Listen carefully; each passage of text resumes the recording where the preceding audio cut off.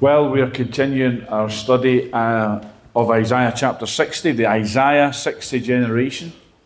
The Isaiah 60 generation is the end times uh, people of God moving and living in the glory of God in the end days, or the end times, the last days. And of course, many believers believe that we're in the last days, and in fact, we have to be in the last days because the last days, really, biblically speaking, are the time of Christ onward, what we would call AD or Anno Domini. Um, and so the further that we go into that, and we're now 2,000 some years into that, um, the further we go into that, the more in the last days we are. And of course, the last days, there are many promises.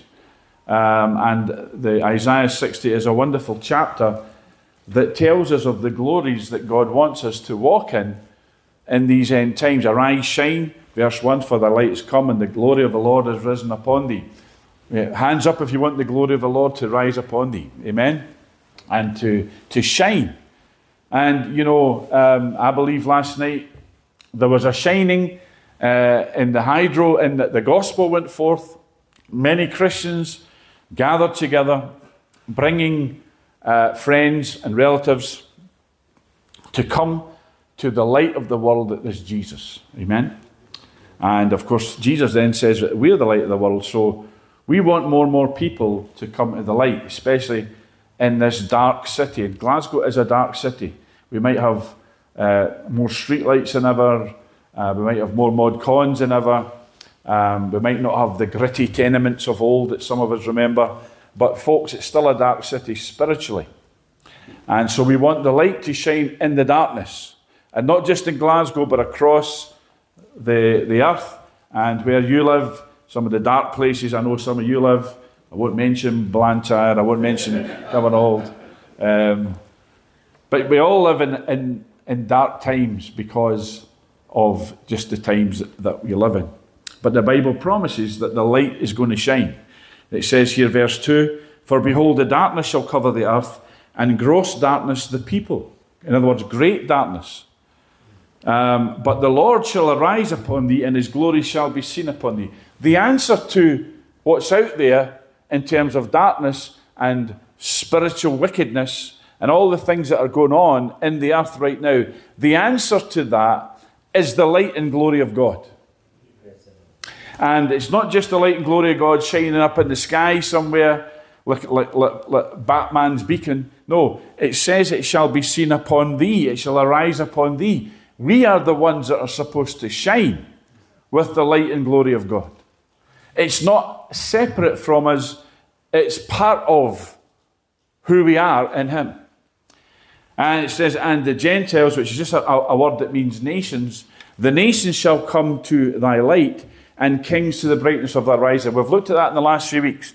What he's saying here is that the light that is in you and I and upon you and I is supposed to be a magnet, if you like, that attracts the, the nations and their kings or their leaders.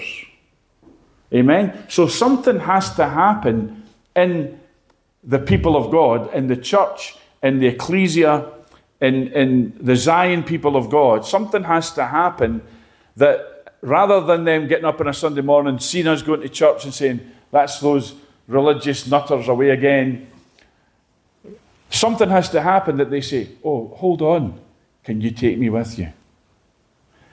And that thing that has to happen is that the light and glory of God is seen upon us. In other words, God reveals our true identity as sons and daughters of the living God.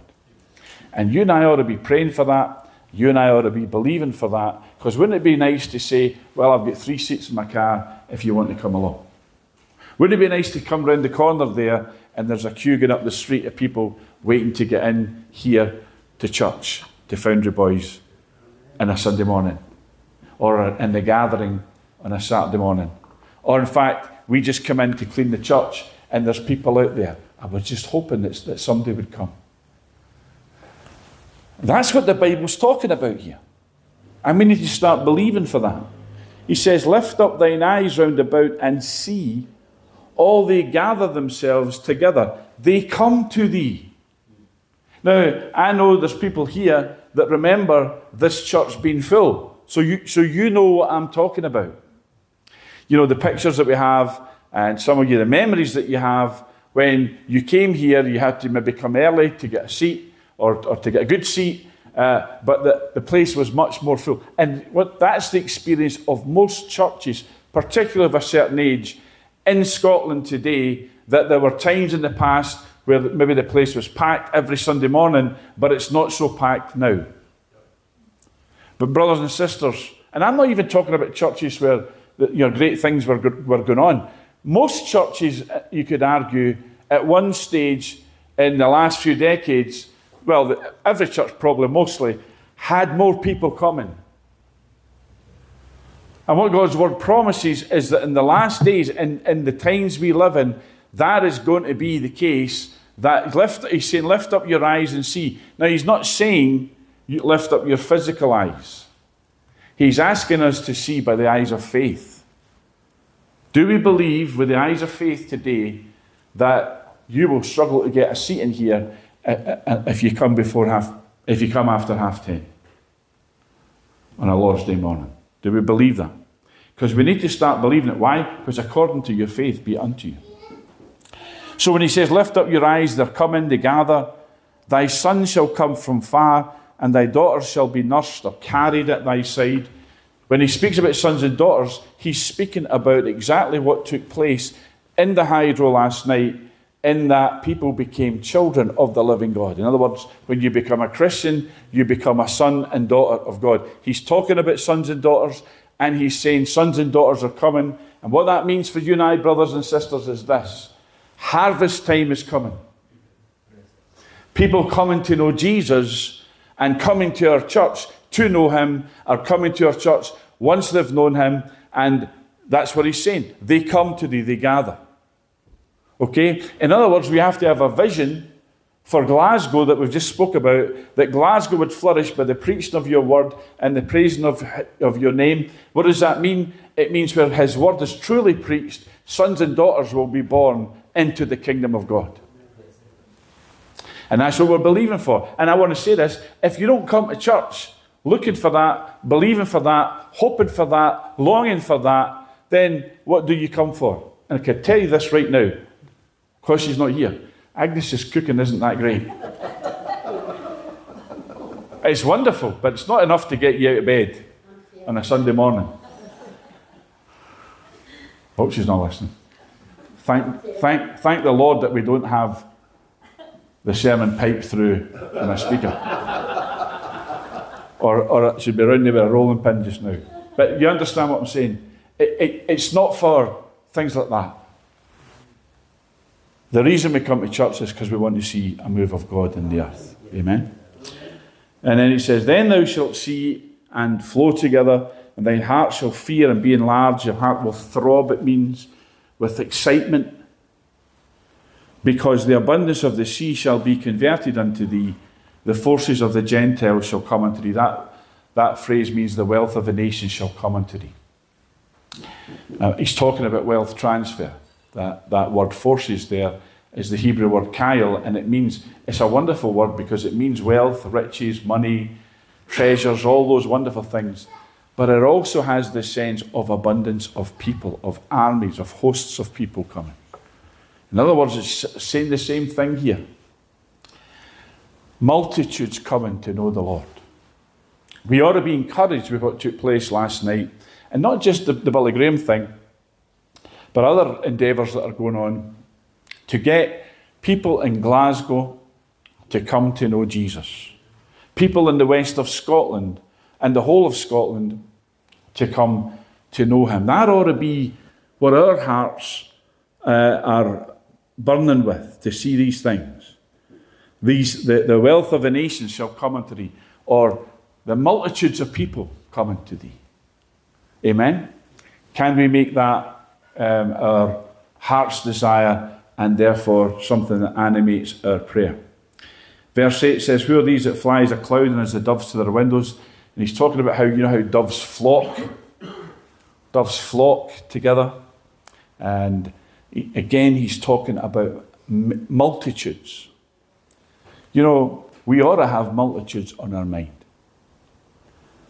We ought to say to ourselves, those days of old in here, when the, the big church was packed and so on, and this room was packed, we ought to be saying to ourselves, do it again, Lord, but do it far greater. Amen.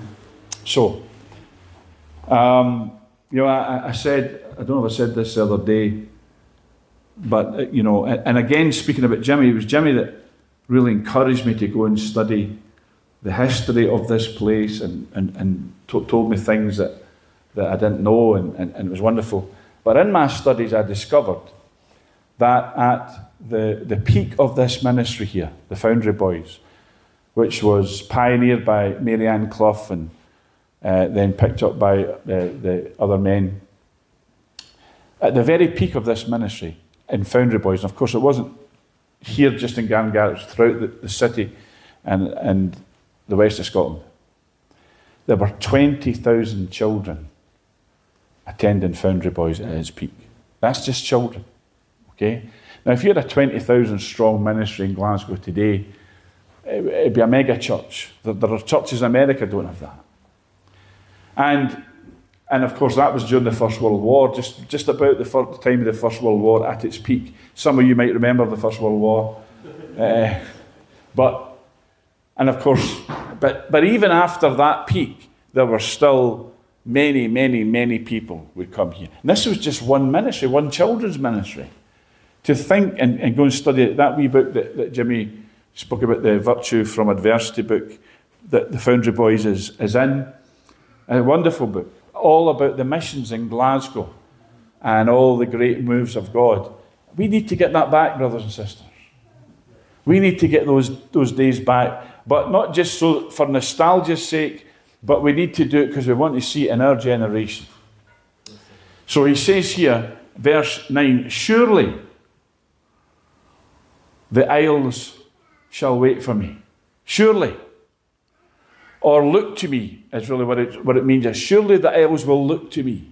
What he's saying here is this what God is saying, what the prophet is saying, is that it's definitely going to be the case that the isles will look to me, will wait for me, will pursue me, will seek after me.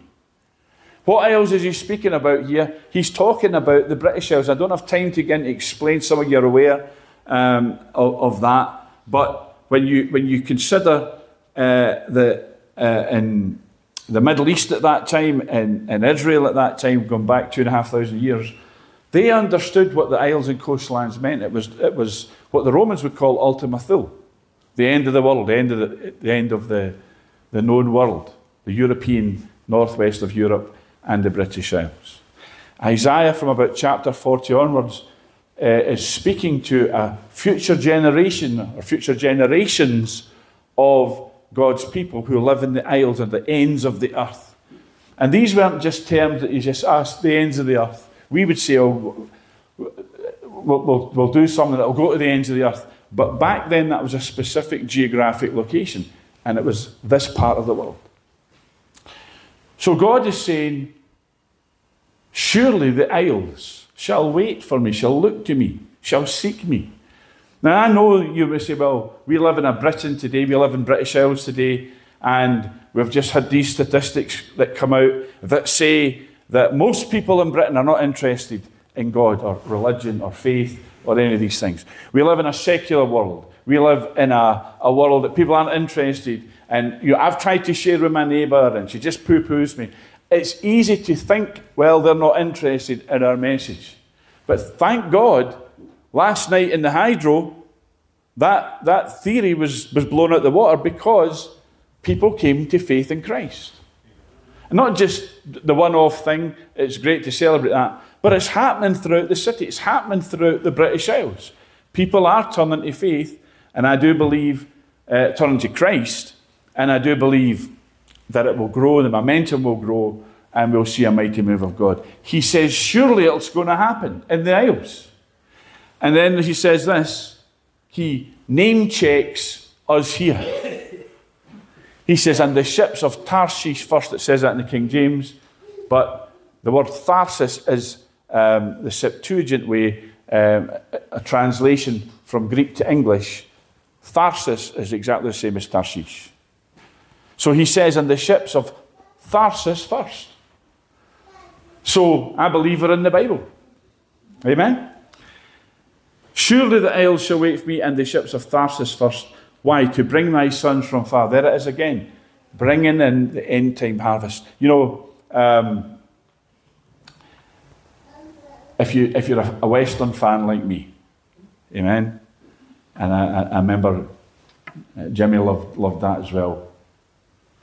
Bringing in the sheaves, standing on the prairies, yeah, at the graveside, bringing in the sheaves, bringing in the sheaves. Amen? Now, that's what he's saying to bring in the sheaves, to bring thy sons from far.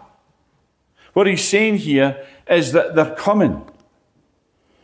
People are coming to bring thy sons, their silver and their gold with them, and that means we're going to have good collections, good offerings. That's exactly what it means. What he's saying, and why does he mention the wealth? Here's why. Not just because of wealth transfer, but here's why. Because he's talking about committed people. Where your treasure is, there your heart will be also. It's easy to pay lip service, but when you, he's talking about people who are invested in the kingdom. Isn't that wonderful?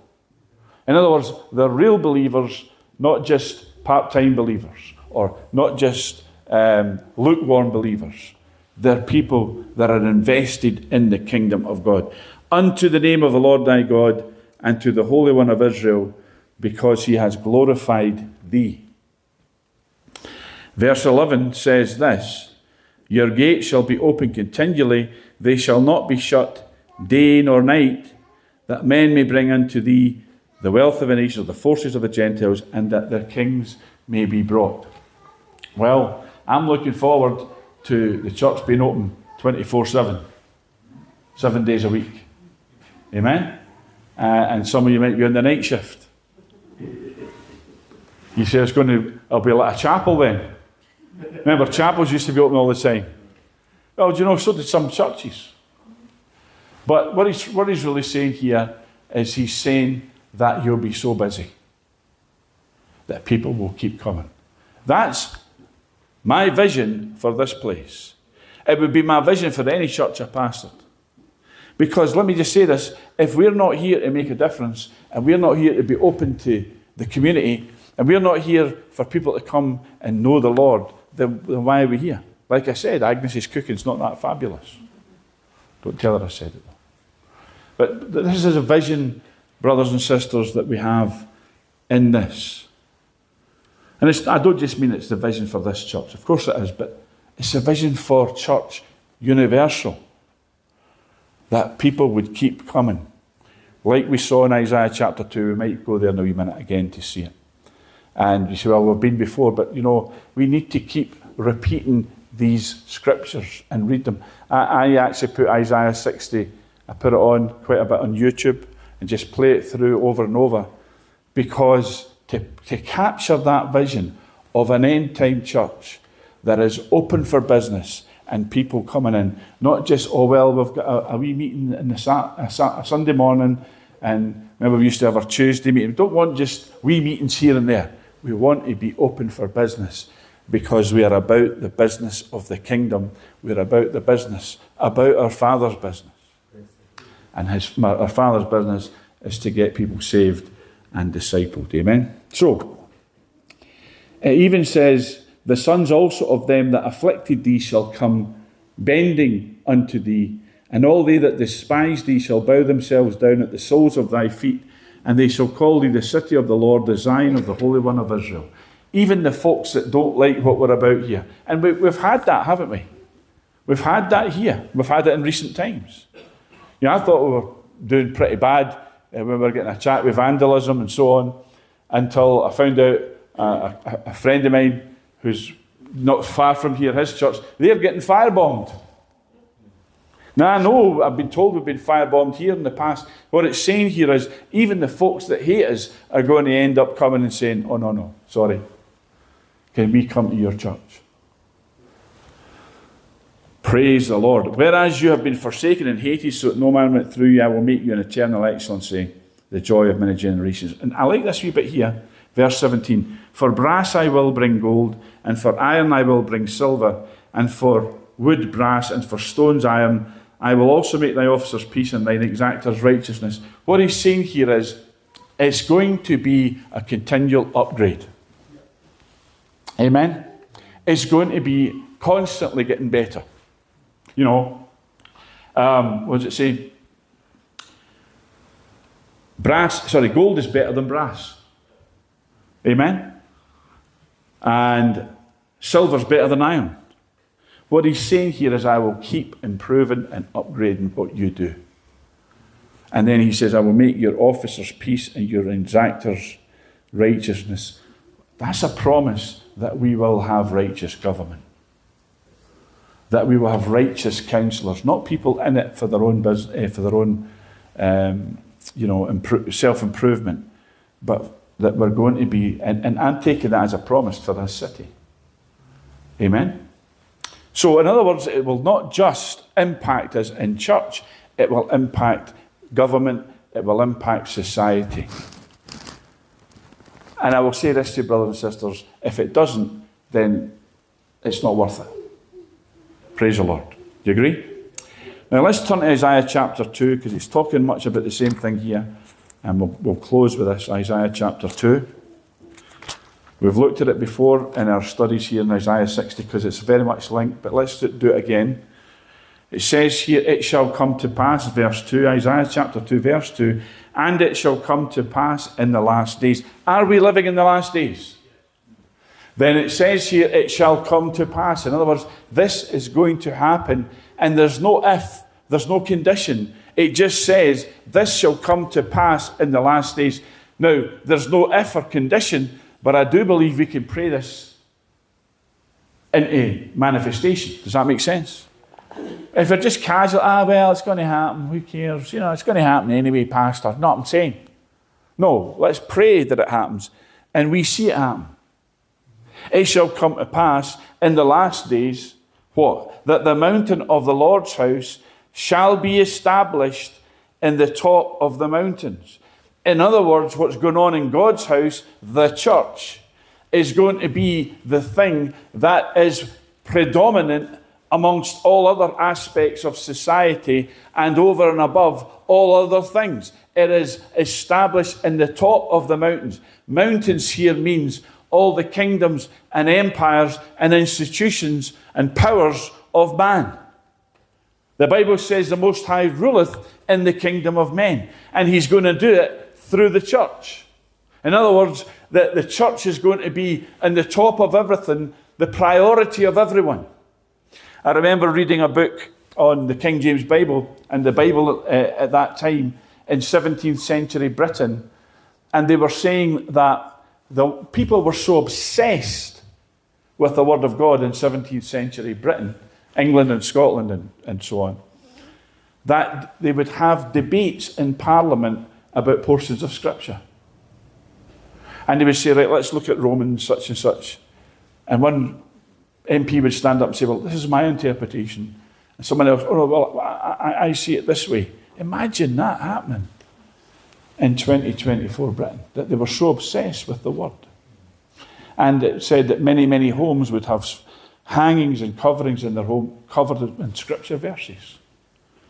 And the reason being is that in 17th century Scotland, 17th century England, there was an obsession with people and with politicians, rulers, leaders with God's word.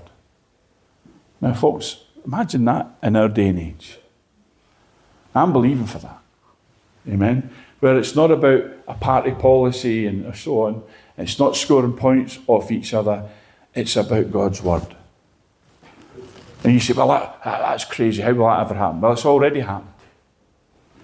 It's what we need to get back to, not just what we oh, well, you know, that, that, that would be amazing. Well, it's already happened.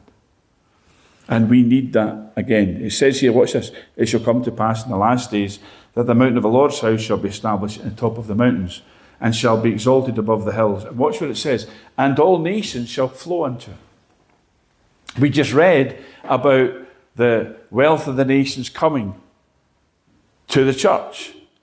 And it's saying here the same thing nations are going to flow unto the church, unto the ecclesia, unto the mountain of the Lord's house, which we would say today is church or ecclesia. And look at this. And many people shall go and say, Come ye and let us go up to the mountain of the Lord, to the house of the God of Jacob, and he will teach us of his ways. Or they'll say to you, Are you going to church? Have you got room in your car? Many people. See, we're not here just for the, the few. Oh, well, it'll be good. To, oh, it's great. You know, we got, a, we got a new family come to church 10 years ago. Oh, wasn't that wonderful? No, it's many people, multitudes. Brothers and sisters, it's time for us to have the vision of multitudes. Come ye and let us go up to the mountain of the Lord, to the house of the God of Jacob. He will teach us of his ways. We will walk in his paths. For out of Zion shall go forth the law and the word of the Lord from Jerusalem. Or we would say, from out of Zion City Church shall go forth the law. Zion literally means the people of God, or the, the church, the ecclesia, where God's word is faithfully preached. And we are not the only church that does that, let's be honest. But we're the best. Amen.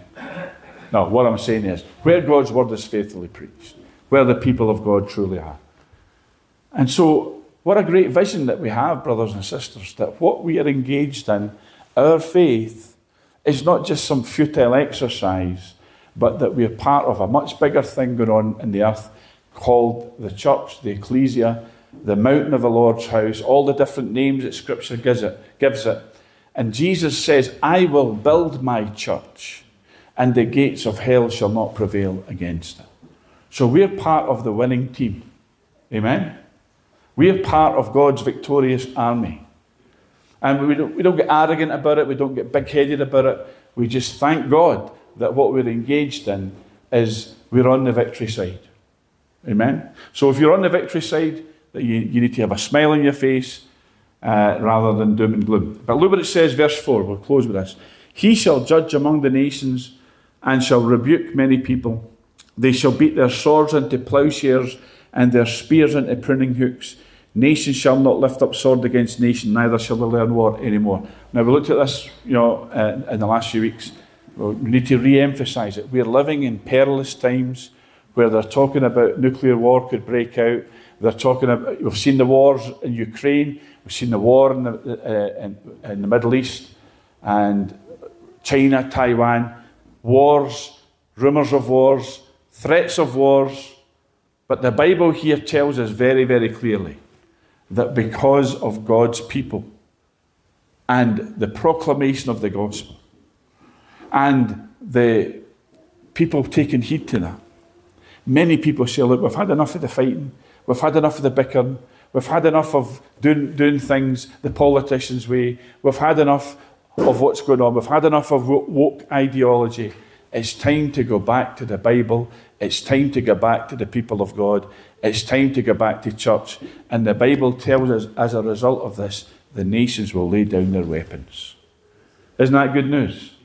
I don't want to be standing here one day and looking over to Faslane, or uh, Faslane, and seeing the big light in the sky, and then all the electricity going off, and that's us. We're plunged into nuclear winter.